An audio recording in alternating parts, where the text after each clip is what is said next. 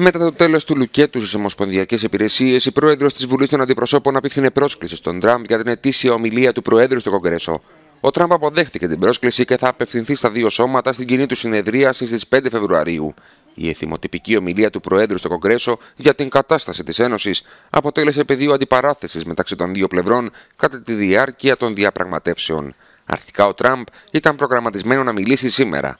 Μετά το ομοσπονδιακό λουκέτο, η Νάνση Πελόζη ζήτησε τον Πρόεδρο την αναβολή της ομιλίας επικαλούμενη λόγους ασφαλείας. Εκείνος απάντησε ακυρώνοντας τη μετάβαση της Πελόση στην Ευρώπη με στρατιωτικό αεροσκάφος. Μετά τη συμφωνία της Παρασκευής όμως και την επανέναρξη λειτουργίας των ομοσπονδιακών υπηρεσιών, η χώρα επιστρέφει στην κανονικότητα.